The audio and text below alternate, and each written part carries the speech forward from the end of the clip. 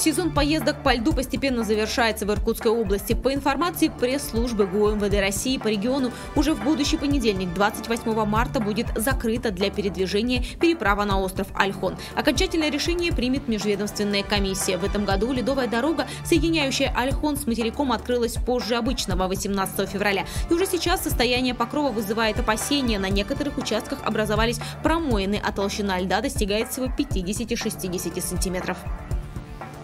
О других не менее важных и резонансных событиях дня расскажем в ближайшие полчаса. В эфире новости по будням. Здравствуйте. Ну а прямо сейчас вас ждут короткие анонсы основных тем выпуска от наших корреспондентов.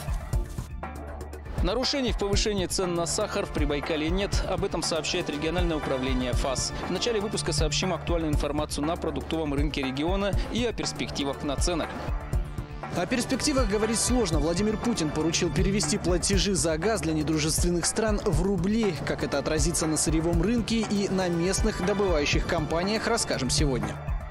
В программе расскажем, как бесплатно и быстро узнать о состоянии своих легких. В Иркутске проходит месячник борьбы с туберкулезом. Насколько опасная болезнь распространена в регионе, узнаете через несколько минут. И несколько интересных новостей озвучим в традиционной рубрике «Повесточки». А именно поведаем о том, какой зверек наконец почувствовал весну и вышел из спячки в иркутском зоосаде, а также кого теперь устраивают на работу в США. И теперь о событиях дня подробнее. Нарушений в стремительном росте стоимости сахара в Иркутской области нет. Об этом сообщает региональный ФАС. Напомним, по данным службы потребительского рынка и лицензирования за последние две недели, этот продукт в Прибайкалье подорожал в среднем на 20%.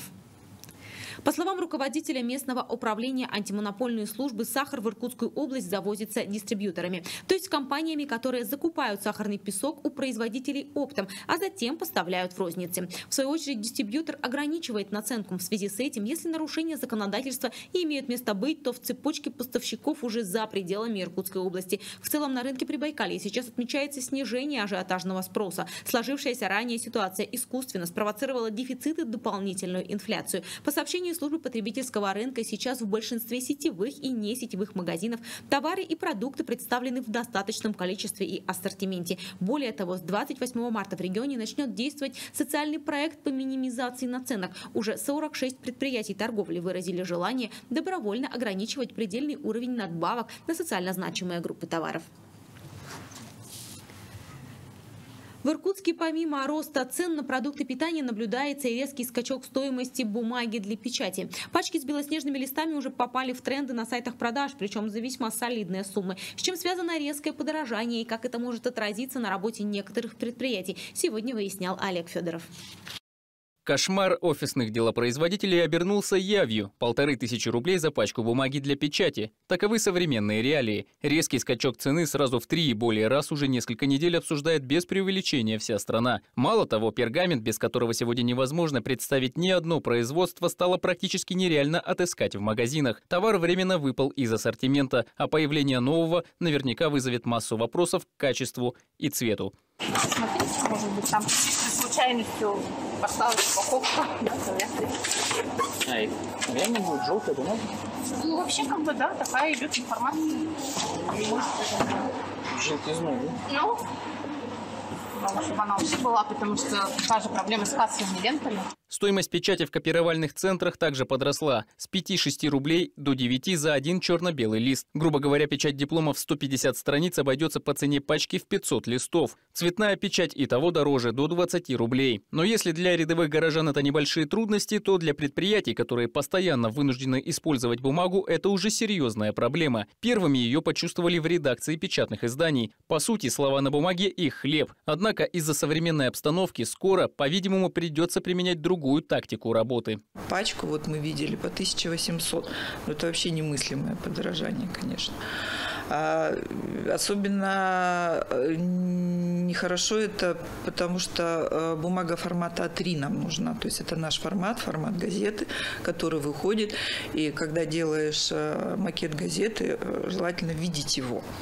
А как его увидишь, ну, в электронном виде это хорошо, но в бумажном это было гораздо лучше. Ну, а поскольку бумага это сейчас стоила, сейчас будет стоить в 3-4 раза дороже, Ну, мы, видимо, будем менять формат, будем работать только в электронном виде. Одни говорят, что дефицит белой печатной бумаги возник из-за закрытия единственного в стране завода по производству специального отбеливателя на основе диоксида хлора. Другие парируют, что это искусственно созданный ажиотаж. Как бы там ни было, сырье, из которого изготавливается бумага в России, есть. Кроме того, есть неплохие перспективы наладить производство необходимых красителей. Чаще всего это делается все-таки в приближенных, так сказать, районах, где производится непосредственно бумага. То есть, то есть для нас это сегодня, наверное, все-таки Устилимск, Браск, где это можно было бы сделать. Вопросы, э, условно говоря, развития Усольской площадки тоже стоит. Вы знаете о том, что а, сегодня рассматривается так называемая зеленая химия, то есть вполне возможно для того, чтобы а, создавать соответствующие реагенты и там открывать соответствующее производство. Конечно, такие проекты не осуществить и за пару лет. А вот что может сделать каждый, так это принять участие в сборе макулатуры. Переработка использованной бумаги проще и дешевле в технологическом процессе, так что подзабытый опыт советского прошлого в очередной раз может пригодиться. Олег Федоров, Владимир Пинаев, новости по будням. Высоко ценится на международном сырьевом рынке российский газ. И в ближайшее время многим странам, которым наше государство поставляет голубое топливо, придется расплачиваться за него рублями. Президент России заявил, что в ближайшее время необходимо перевести все платежи за газ в отечественную валюту для недружественных стран. В этот список входят все государства Евросоюза, Япония, США, Канада и Австралия. Но как такое решение президента отразится на сырьевом рынке во всем мире? Сможет ли рубль в перспективе стать международной валютой и как грядущий грядущие перемены отразятся на добывающих компаниях Иркутской области? Эти вопросы мы задали нашим экспертам. А похоже, что в сырьевом рынке нас ждут очень большие глобальные перемены, а, потому что вчера Россия заявила о том, что будет своими, э, своим сырьем, своими природными э, недрами торговать за рубли. Одновременно с этим э, Саудовская Аравия сказала, что с Китаем будет напрямую рассчитываться в юанях. А, возможно, в ближайшее время еще что-то можем услышать по индийской рупии, то, что они тоже могут присоединиться. То есть образуется такой определенный своего рода новый центр э, силы, центр экономики, вот, э, который будет потеснять другие э, валюты, такие как доллары и евро. Сейчас многие говорят о том, что а что будет дальше с долларом, что будет дальше с евро. Здесь хочу привести аналогию с британским фунтом, потому что британский фунт очень долго был тоже международной расчетной величиной, единицей, когда были большие морские пути, было очень большое активное мореходство, а, и фунт являлся, а, так сказать, эталонным расчетным, а, как, расчетной единицей во всем мире.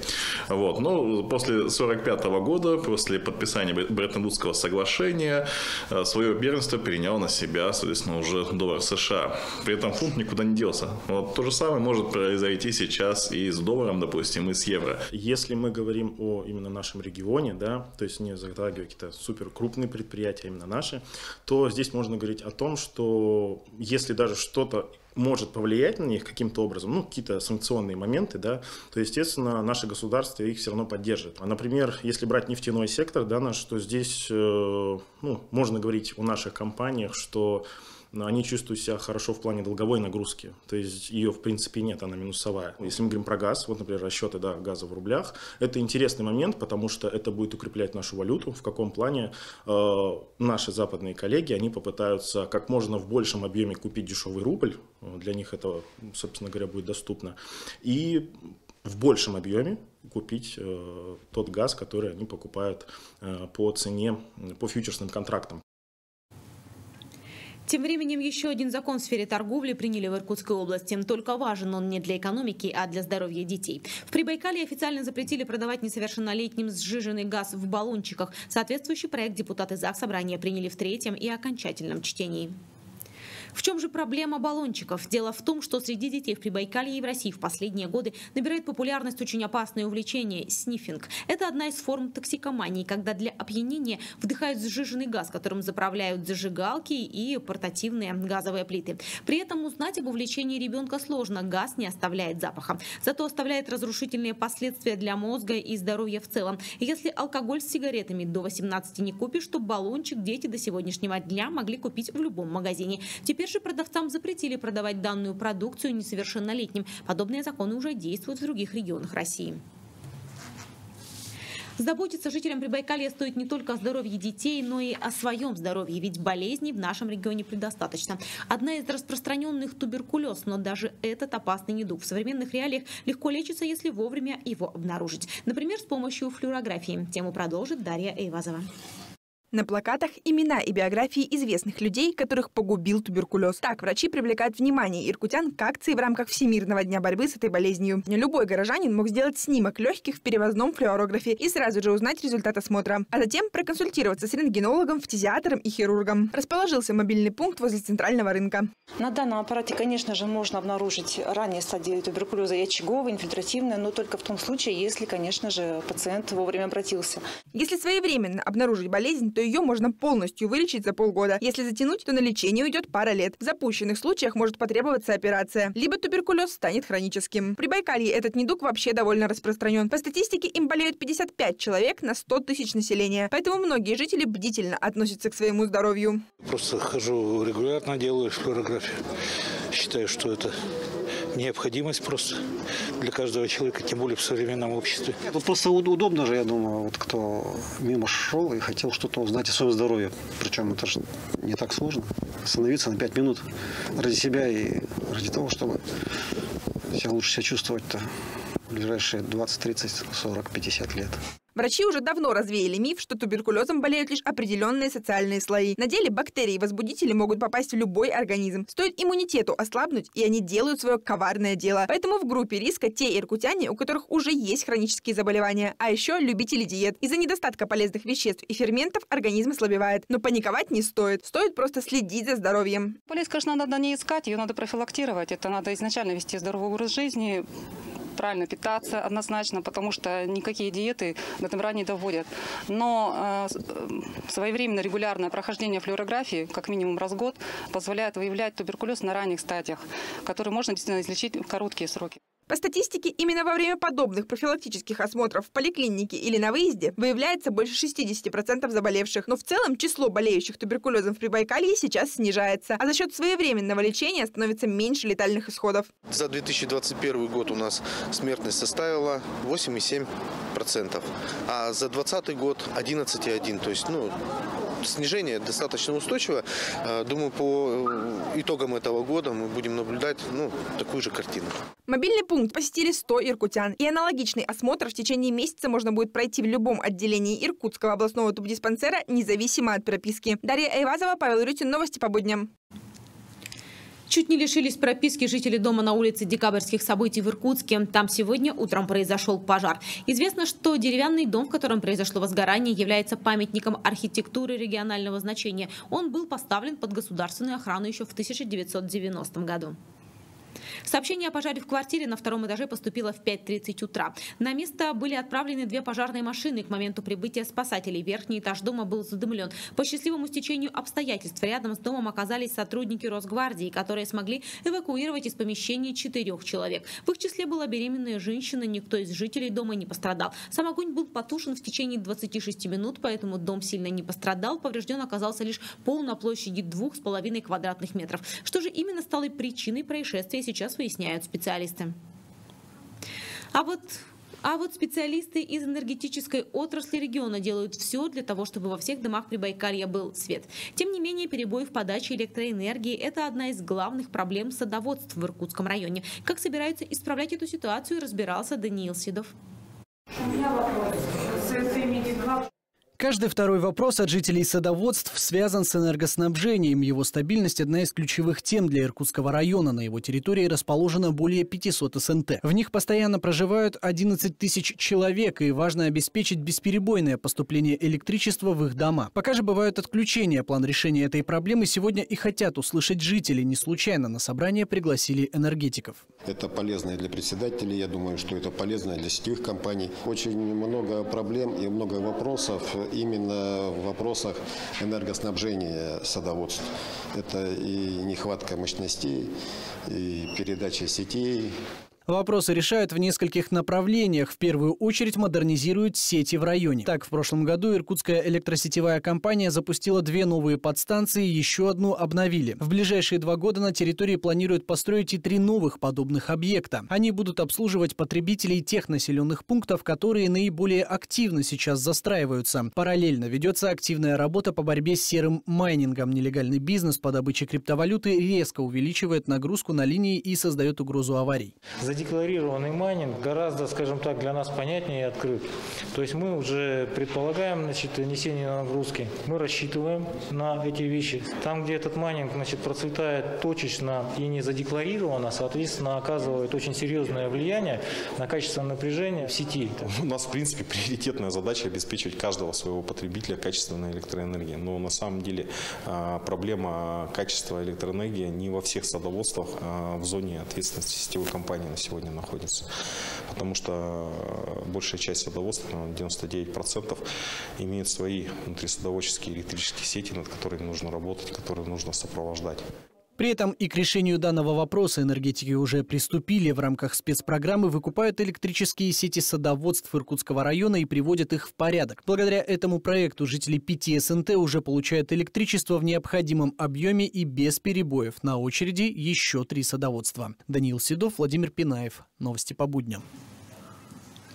Проблем в Иркутской области предостаточно. Одна из них – чистота Байкала, ведь мусора в озере несчитанное количество. На днях спасатели подняли со дна УАЗ, утонувший 30 лет назад. Он лежал на глубине 84 метров в районе ключа Серебряного на КБЖД. Чтобы достать машину из озера, потребовался глубоководный робот и ворот. Вскоре подводную находку отвезут на утилизацию. Тем временем чистую воду в свои дома ждут тысячи жителей Прибайкалья, поэтому в регионе появится сразу 8 новых объектов водоснабжения.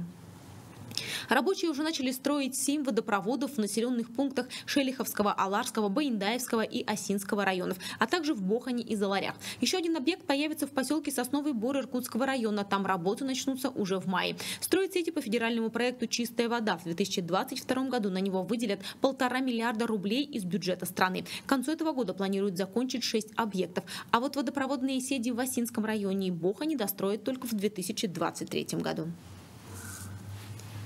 Не менее важная работа сейчас ведется на общественных пространствах Иркутска. В областном центре стартовала традиционная акция по формовочной обрезке деревьев. Первой специалистами будет обработана Каштаковская роща. Многие деревья в зеленой зоне заражены тополевой молью, поэтому нужно как можно скорее избавиться от пораженных ветвей. Тему продолжит Кристина Черкова.